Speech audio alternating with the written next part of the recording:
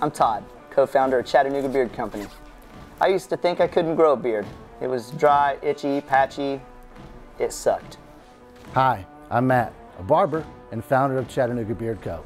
And that's why I created these products, to help you grow and enjoy your beard.